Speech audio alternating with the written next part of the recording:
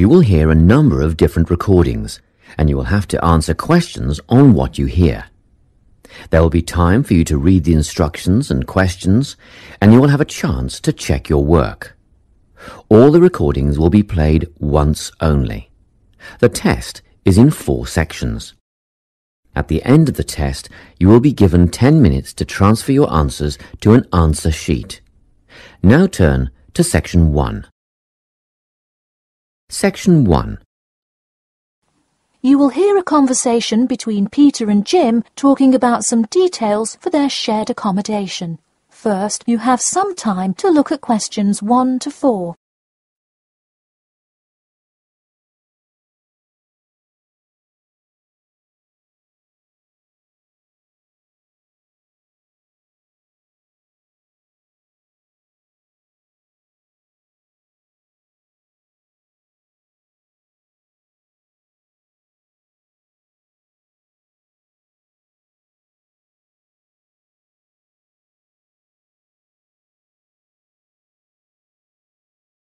You will see that there is an example which has been done for you. On this occasion only, the conversation relating to this will be played first. Hey Jim, it's Peter. Oh, hey, Peter. What's up? I thought I'd call so we could hammer out the details for next year's lease. Peter says that he wants to hammer out the details for next year's lease with Jim. So, lease has been written in the space. Now we shall begin. You should answer the questions as you listen, because you will not hear the recording a second time. Listen carefully and answer questions 1 to 4. Hey Jim, it's Peter. Oh, hey, Peter. What's up? I thought I'd call so we could hammer out the details for next year's lease. That's a good idea. Did we ever decide on how to split the total rent? Well, I was thinking since my room is bigger, I probably should pay a little more. So I could pay £110 and you could pay £80. Does that sound okay? Considering that my old apartment cost me £100 for a smaller room, I'm definitely alright with that. Hey, I was looking at a map of the area and can't seem to find a bus stop near it. Do you know where we would catch the bus? Well, the bus is actually pretty far from us, but we have that garage that we can park our cars in. Wow, that's great. Convenient parking is hard to find, so we're lucky we have that. Okay, so we have a whole lot of things we'll need to buy when we move in. How do you want to split that up? I was wondering, do you still work at the supermarket? Yep, every Tuesday and Saturday. Would you be able to buy things from there if I sent you a shopping list? Sure, I can do that. Great. Then I can take care of whatever else we need that you wouldn't get at a supermarket. If you want, I'll pick you up from work that day and we can go to the apartment together. Oh, that would be great, thanks. No problem. That way we can split the cost of petrol. Works for me. It's so expensive these days, isn't it? It's downright obscene.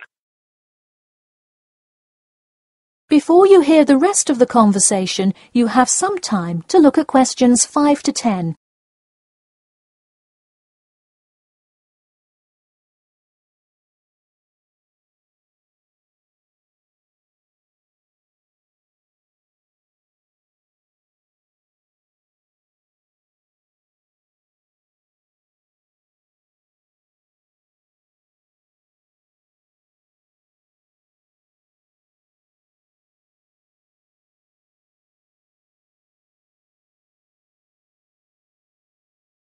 Now listen and answer questions 5 to 10.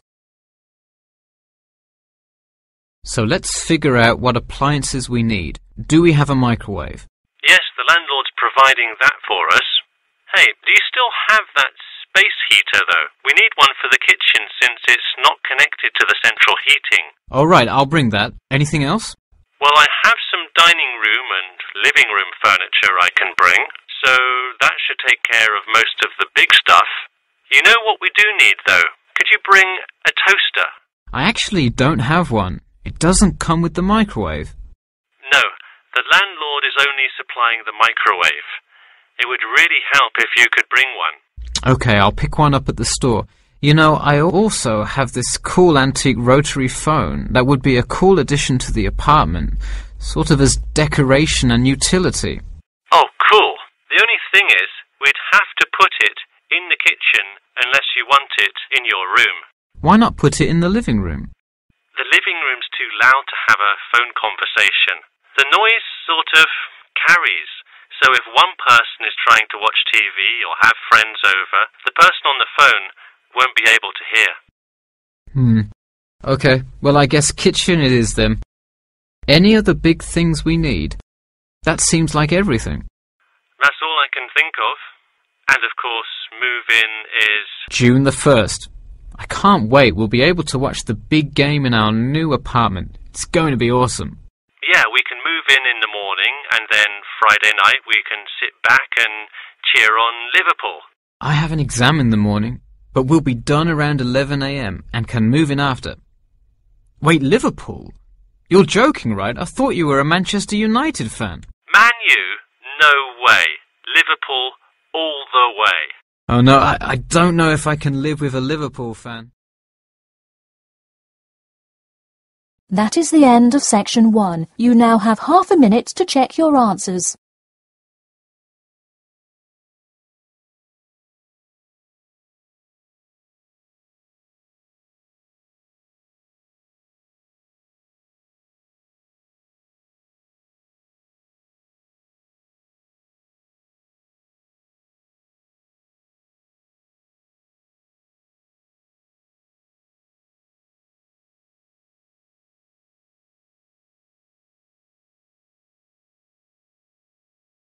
Section 2. You'll hear an HR representative of Earn and Learn giving some information about her company. First, you have some time to look at questions 11 to 16.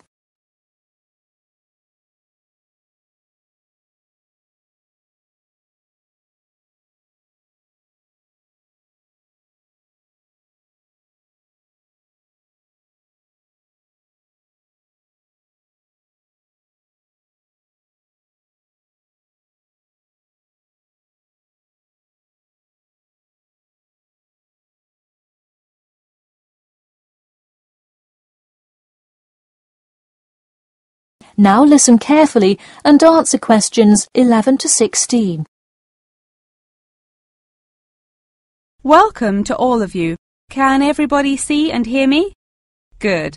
I'm Sarah Connor, an HR representative of Earn and Learn. I have been asked today to talk to you about our company. So, for those of you who don't know very much about the company, let me start by giving you some basic information about it. Earn and Learn started nearly 20 years ago. It is not a charity but a for-profit company that enables promising entrepreneurs to make money while traveling. During the past 10 years, it has grown rapidly and has gained great influence in most countries of the world. We have a partnership with the school and take a large number of recent graduates from the business school. So if you are a recent graduate, I'd say you can consider applying to our company. Before your application, you might be curious about what sort of places you could go to. There are four main locations, but you also have the freedom to submit a different location, and if they can make the necessary arrangements, you can go. The first country Earn and Learn established locations was the US, where you may choose from multiple locations, as long as you can commit to their more rigid schedule of August to December. Also, you could do the Australia internship. That one is really cool. You work at a wildlife shelter and learn about the business practices of non-profit organizations. You do have to be willing to commit eight months for that one though. Perhaps that's a long time to be so far away, but I would say it is really an amazing opportunity. I don't know whether some of you are in decent physical shape. If so, the South Africa internship is another exciting one. You learn a lot about sustainable farming, but you would be doing some of the manual labour involved in maintaining a farm. Indeed, it's hard work, but I think you would definitely be able to do it. It may be wise to wait until after their summer is over so it's not so terribly hot. In addition, there is a most recently established location in India. This one gives you more of a study abroad feel, given that they arrange a host family for you to stay with. In the other locations, you live in an apartment with other interns, so this is definitely a unique experience. Before you hear the rest of the talk, you have some time to look at questions 17 to 20.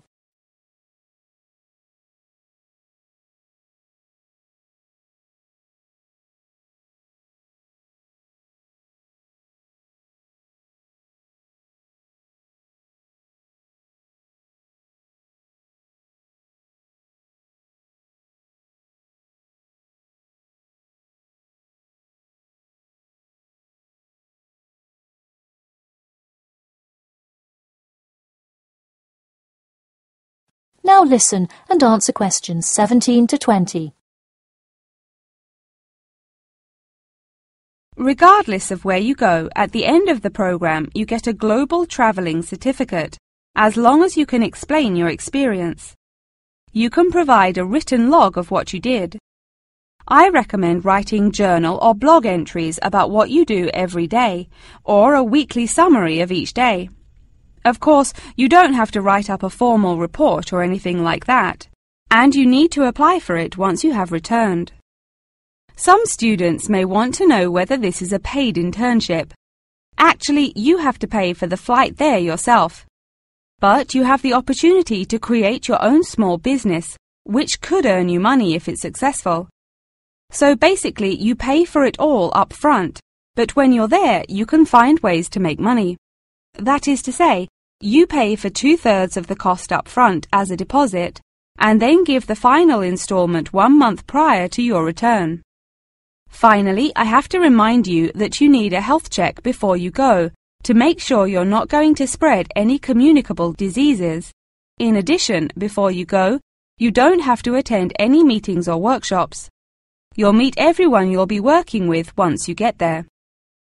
Okay, well, that's all I've time for today.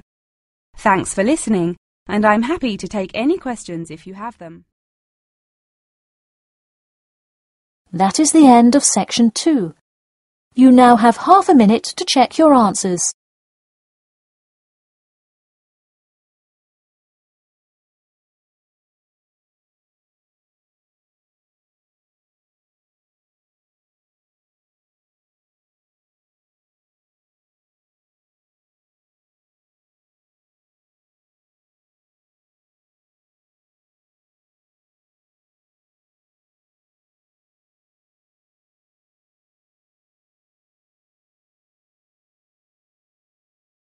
Section 3.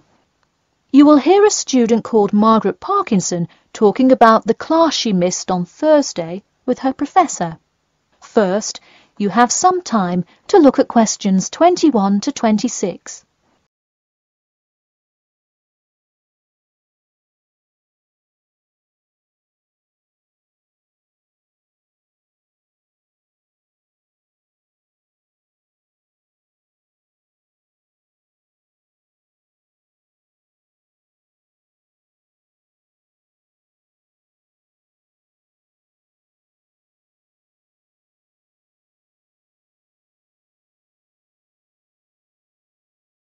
Now, listen carefully and answer questions 21 to 26. Hi, Professor Timmons. Do you have a few minutes? I was hoping to talk about what I missed on Thursday. Hello, come in. Sure, sit down. Could you tell me your name, please? Margaret, sir. Margaret Parkinson. I apologize for missing your class, but I had to go to the hospital. I'm sorry to hear that. Everything is okay now, though, I hope. Yes, thanks. Glad to hear it. So on Thursday, I outlined the research project that will account for 30% of your grade.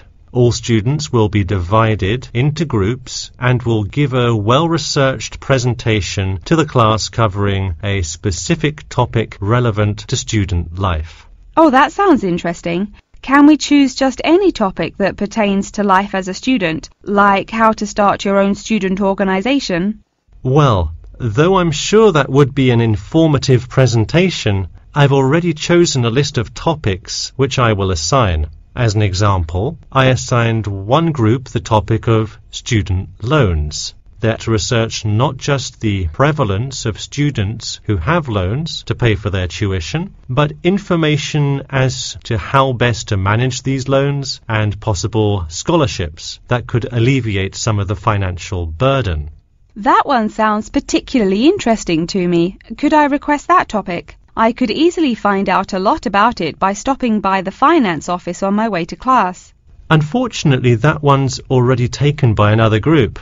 I have, however, assigned you to a group and given you all one of two choices. Oh, I see. What are the choices? The first is discussing smoking, trends in the number of student smokers compared with the general population, popular reasons students take up smoking, and more healthy alternatives to smoking. Hmm, that one could be interesting. I'm not a smoker myself, but we'll see what my group thinks. If we did choose this topic, we would rather not put our fellow students on the spot to interview them. Where else could we gather information? How about where the cigarettes are sold? Oh, that's a great idea. I could interview the manager of a supermarket and find out the average age of people buying cigarettes, or how much they buy, that sort of thing. Precisely.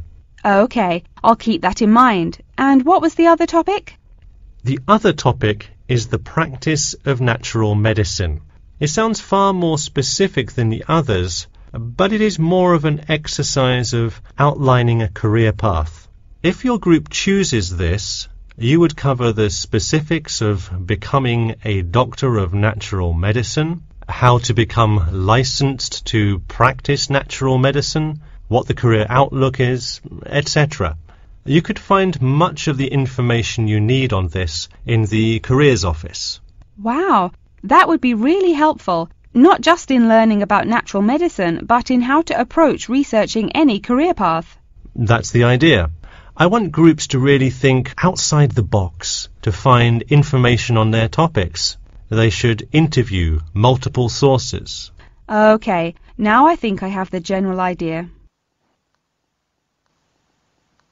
Before you hear the rest of the talk, you have some time to look at questions 27 to 30.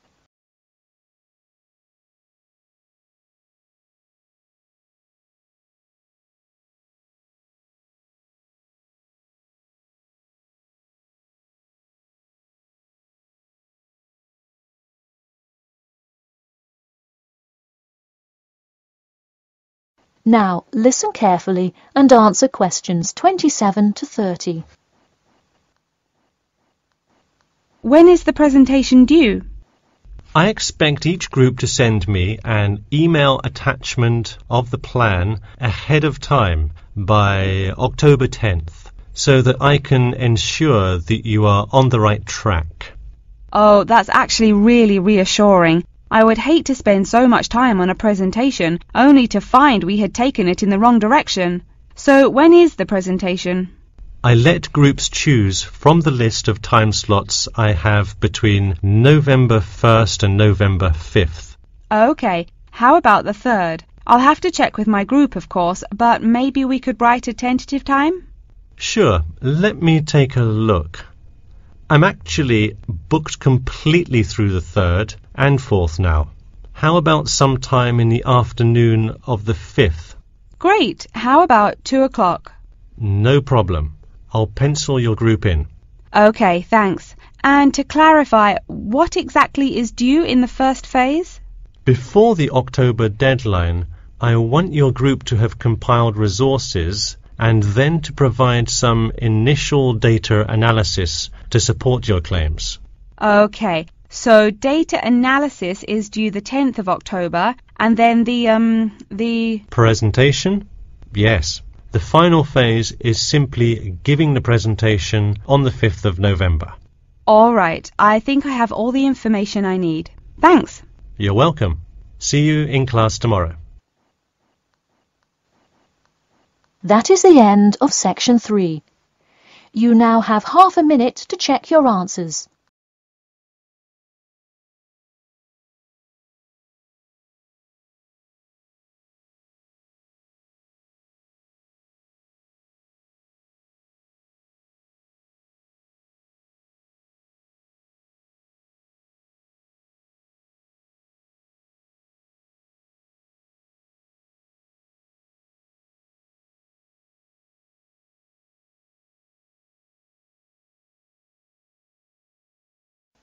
Section 4. You will hear an introduction about an eco-friendly building called the Gherkin. First, you have some time to look at questions 31 to 40.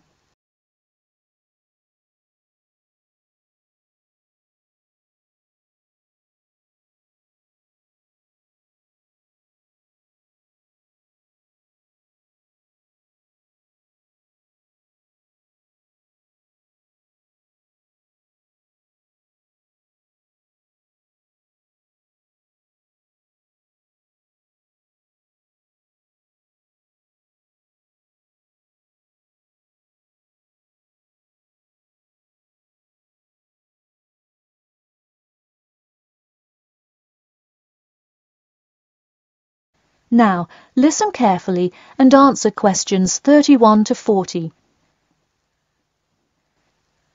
Today, I'd like to tell you about how UK architects are playing their part to address the issue of global warming. You have seen many of these iconic buildings while going about your everyday life, but you may not know how they are affecting your tomorrow. In 2003, construction was completed on the famous Swiss Re building, or more informally called the Gherkin, a true masterpiece commissioned by the law offices of Foster and Partners. This is not the first ambitious endeavour of the firm. They are renowned for their various philanthropic environmental efforts. The Gherkin, with its cut-and-edge green initiative and sharp design, is gaining recognition as an icon in modern architecture. You can pick it out of the London skyline by its unorthodox cigar shape. While its appearance is the obvious attribute at which to marvel, there is far more to this building than meets the eye. And let's face it, there's a lot about this building that meets the eye. The building helps reduce the city's carbon footprint in a number of ways. Just a quick note, in case you're not familiar with the term carbon footprint, get used to it. It's a buzzword you'll hear relentlessly to talk about reducing emissions. Think of it as the amount of harmful greenhouse gases that are given off into the environment by a single person, organization, or product. So going back to the Gherkin building, perhaps the most obvious as well as the most significant eco-friendly feature is the glass windows, which allow light to pass through the building, both reducing heating costs and brightening up the workspace. The ingenuity behind the various eco-friendly aspects of the Gherkin has seen its fair share of publicity both from serious and silly sources. In a recent April Fool's Day edition, one e-publication printed a story detailing plans to replace 50% of the current exterior with grass, which would not only make large steps in the name of sustainability, but also give the building the green hue that would truly earn it the nickname of the Gherkin. The only drawback is, as you may have guessed, that this story was an April Fool's Day joke and completely made up.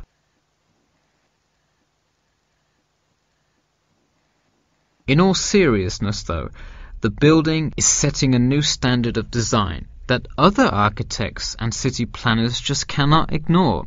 The building's bold and cost-efficient design has won a number of architecture awards, including the Stirling Prize, the London Region Award, and the Emporis Skyscraper Award, among others.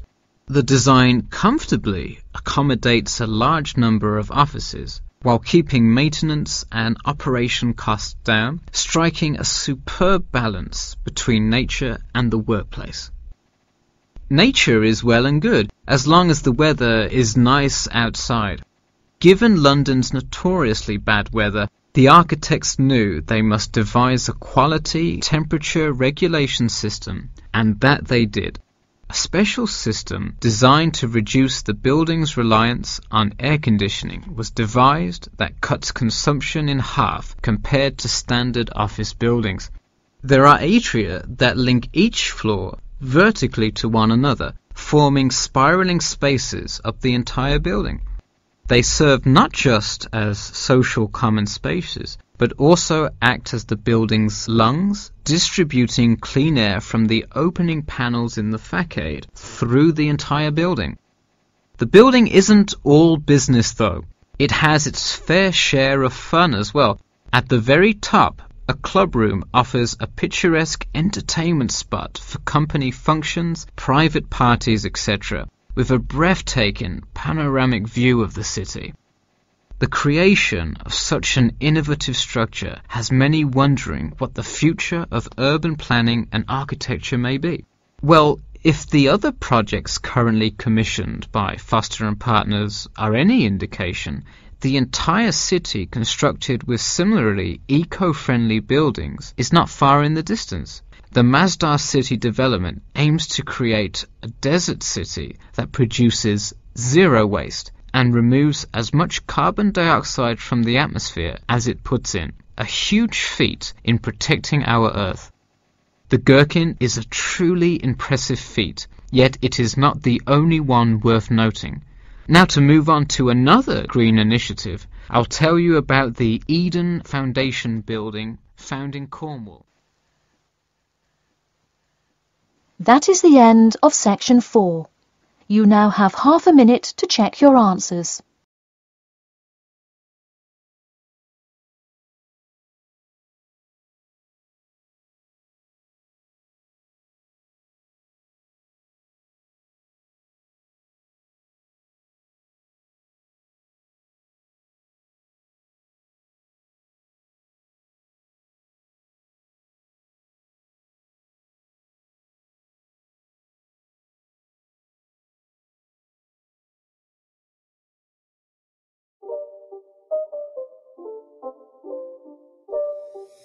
It's not a game, it's a rich thing.